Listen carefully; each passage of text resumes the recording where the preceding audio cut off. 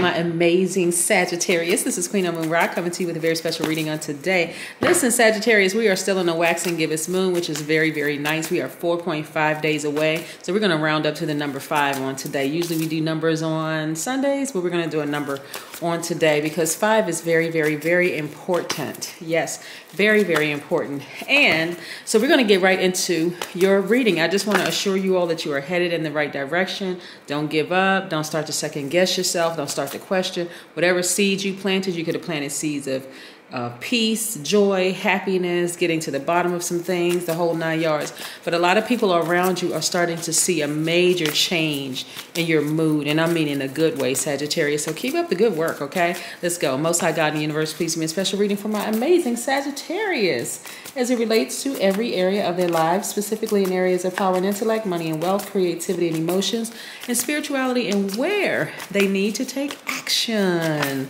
I am talking to, look at all these cards that flew out the deck. We're going to leave those cards right there because there's a message. Oh, more cards. what in the world? There's a message. There's a message. What information do we have from our smart, caring, deep thinkers who are also honest, wild, who loves to have fun, generous, idealists, great senses of humor? I'm talking about my archers. I'm talking about you, you, you, and you, gods and goddesses. Sagittarius, yes, your um, duality by default is divine masculine. So that means that you're a giver, and so you're going to choose what you give. Are you going to you're going to choose to give your high vibration, or you're going to choose to give low vibration? And a lot of you all are moving towards no longer nurturing low vibration energy because low vibration energy can contaminate you. Let's look here, the judgment card. See how this person has raised to their highest self, right? Yes. Uh-huh. Ascended to your highest self, which is very, very nice. We're looking at the Three of Pentacles. See? All right. We're going to make some room here. We have the Four of Pentacles. Mm-hmm. We also have the Ten of Wands. Uh-huh. A lot of cards came out. OMG. Nice. A lot of messages coming through. Six of Swords. Can you see? Make sure you can see that. Ace of Swords. Nice. We have the Tower card. Uh-huh. Uh-huh, uh-huh, uh-huh. We have the Fool card and upright. Nice. Okay. Nice, nice, okay. All right, we also have the Strength card, which is very, very nice. Uh-huh. We also have the Five of Swords. Uh-huh. We have the Temperance card, which is your card, Sagittarius. We also have the Ace of Wands. Dang, I'm gonna have to make a lot of room here because there's a lot of information coming through. Ah, we also have the Two of Wands. Make sure it focuses Two of Wands. Yes, we also have the Nine of Wands. Yeah, so you all are completing a cycle, which is great. You know, um, Sagittarius, a lot of times when people are thinking about completing a cycle, they're thinking, okay, I'm so ready. I'm ready for change, right? I'm ready for some, some, some more good things to continue happening in my life. And that's what's happening for you all. King of Wands, which is nice. Let me see if I can get this to focus. King of Wands. Uh-huh. Yeah, so there's a lot of fire in your chart. We have the Justice card, which is very nice. Uh-huh. We have the um, World card, which is nice. Things are coming full circle for you, right? We have the Star card, which is attached to the Aquarius. We're going to put it up here next to the Fool card because the Fool card is attached to the planet Uranus, which is one of Aquarius's ruling planets, right? The other one of Aquarius's ruling planets is Saturn, right? Saturn is um, Capricorn and Aquarius's ruling planet. So we're going to put all of this on the same thing because we're going to talk about this right here. We're going to talk about this right here. Some heavy, heavy, heavy Aquarius influence here, right? Hold on for just a second because this is starting to try to act up. Maybe it's too heavy. It could be too heavy. Yeah, it could be too heavy. All right, so, and then we have a few more cards that's um, um, coming out. And then we have the um, Two of Swords. Uh-huh. And we also have the Six of Pentacles, more money. Okay, so when I look at your card, Sagittarius, like I said, your ruling planet Jupiter is great because Jupiter is the largest planet, right? Not only is it the largest planet, it actually governs expansion. It, it governs what brings us joy, gratitude, honor, wisdom, tolerance, right? That is why you all have been so tolerant of people in your past, whether it's family members or whomever, right? Starting with your family, you all have been so tolerant of that, right? You know, trying to give people the benefit of the doubt. But as time goes on, I'm saying that you all have had to cut a lot of people out of your lives, right? Have to just, whether they left you or you left them or you just stopped talking for a while, you just went on ahead and took that sword and said, you know what? I'm taking my power back, right? I'm getting ready to create space for the new, new to come into my life, the new energy, whether it's new people, new money, new opportunities, new whatever. But this is what you're all doing, right? Taking that, I see a lot of healing energy here, right? Hopefully you all can see this. Let me see if I can shift some things around so you can see. Okay, so this right here is like a fresh start, a new beginning for you, right? So some of you all may have Aquarius in your chart, right? Fresh start, new beginning here. I'm seeing right here where uh, Jupiter, I mean, sorry, not only is your planet Jupiter retrograde, which is a planet of expansion, but also Saturn is retrograde. So it's really asking you to focus on, it's encouraging you rather, to focus on your long term goals, your money or your currency or whatever. But it's focusing on primarily healing, right? Healing from any past pains, any past frustrations, any past anything. So, in order for you to really completely heal, you all may have said, you know what? And the decision came to use like this quick revelation, right? This is what this tower card is about. This quick revelation. You know what? I haven't talked to that person in a while. I've just been sitting here holding space. You know, like a child who's sitting there waiting for a parent to show up and the parent never shows up and then there's that disappointment, right? Right? Or you're waiting for your date to show up and the person doesn't, you, you're all excited at first and the person never shows up and then you're disappointed. Or just waiting for a job to call back. You know, you're just in waiting mode. But you finally decided, you know what, I'm just going to go ahead and just cut that out of my life and just go ahead and make space for new things so that I can heal, right? Part of that energy for you is healing as well, um, Sagittarius. But you had to raise to your highest self to actually see it for what it really is. People that you have severed ties with, it's not all bad. This is what I want to make sure that we are all on the same sheet of music. Some of the people that, excuse me, some of the people that you have decided, I'm no longer holding space for this energy anymore. They're not all bad people. Some of them are just people you haven't talked to in a long time. Um, some of them are people you're recognizing, hey, we're really not on the same frequency, to be honest. We're not talking about the same things.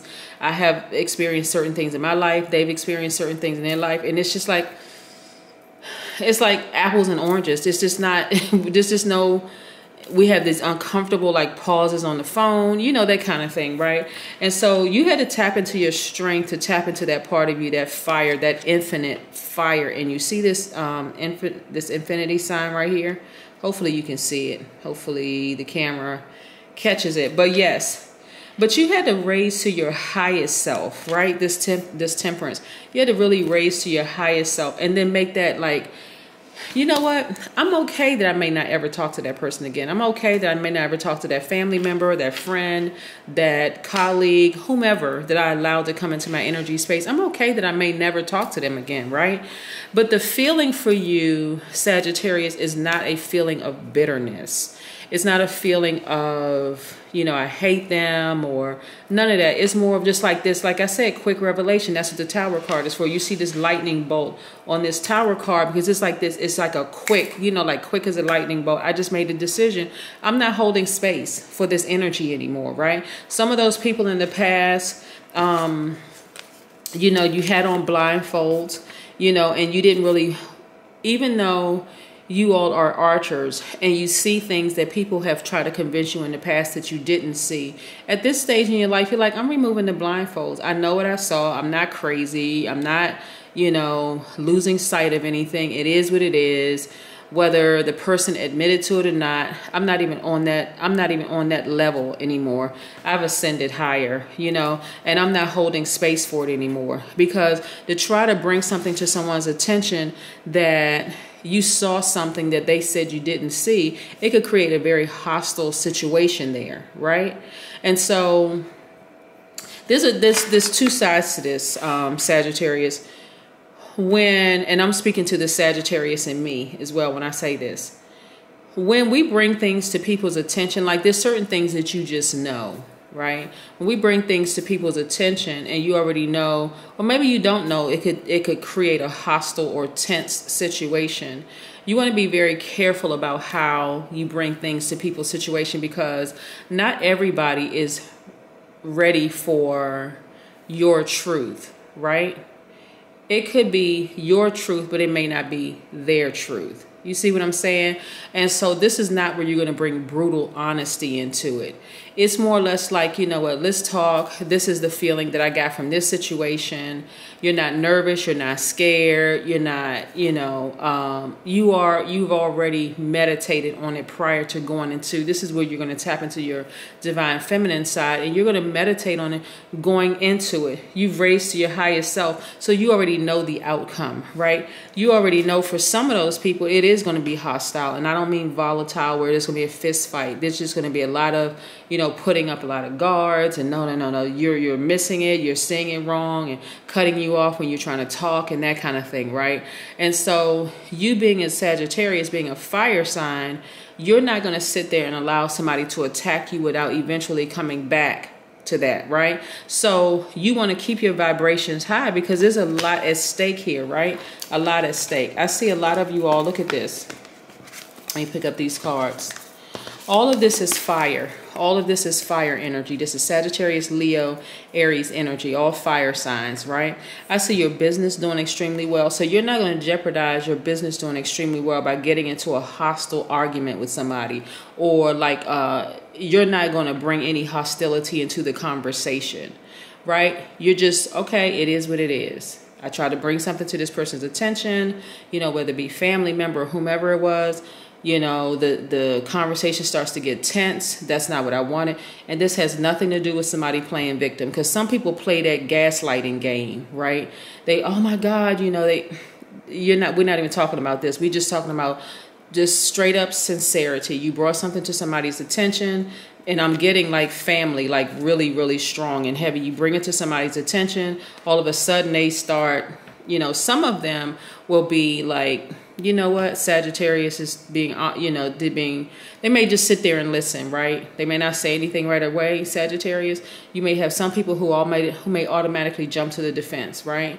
The person who's not saying anything they're just in receiving mode. They're just taking in what you're saying sagittarius and they're going to go somewhere. They're going to sit down and think about it and come back and be like you know what? Sagittarius was right you know um we need to change some things. Like for instance, the pandemic for a lot of people was actually a good thing because they didn't want to go to family functions anyway. They just felt the pressure of having to go to family functions and just, you know, feeling like you were being phony or fake. And so now not having to go or creating the social distance is like, you know what? Boom, there's my excuse. I don't have to go.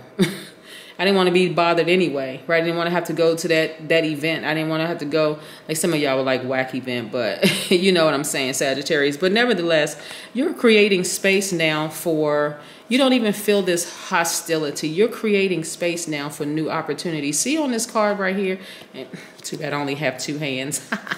So listen, right here, you're thinking about your past, but you're not going backwards, right? This one right here, you're looking out at your future and all the possibilities that go along with your future, which is nice, right? So tons of opportunities coming your way, tons of money coming your way, tons of opportunity to travel. I'm sitting here looking at all of this, these opportunities. All of these are money cards, by the way. So your fire and your intensity has increased. You're like, okay, I'm, some of these bridges I need to completely burn so that I can completely heal, completely heal from all of this, right?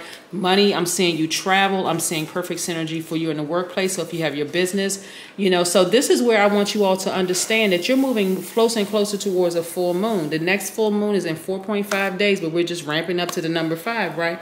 Speaking of number five, five is very important because five, excuse me, this is where you're going to be start seeing signs like 1111, you know, numbers in sync, right?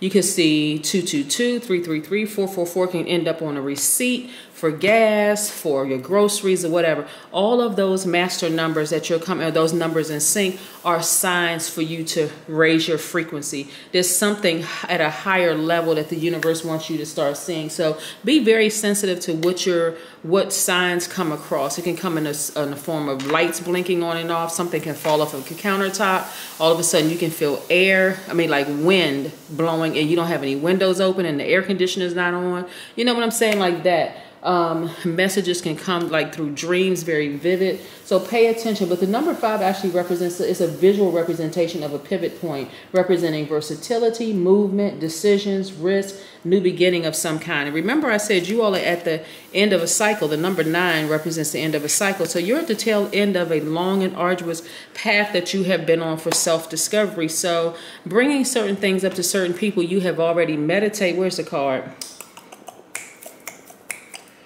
You have already meditated on it you've raised to your highest self in meditation, you've already meditated on it even before approaching the person to even discuss it. So you already kind of know from dealing with them how the outcome is going to be because you've already decided, hey, if they get hostile, I'm going to go ahead and burn that bridge to a crisp. If they don't, and they're open to listening, like some people will be open, some people will not. You know what I'm saying? So let's pull an oracle card, Sagittarius, and let's close out your reading. But your reading looks really, really good. It's like you're making space, like out with the old, in with the new. And some of the out with the old is even taking offense to people who are not ready to ascend to the level that you're ready to ascend to, right?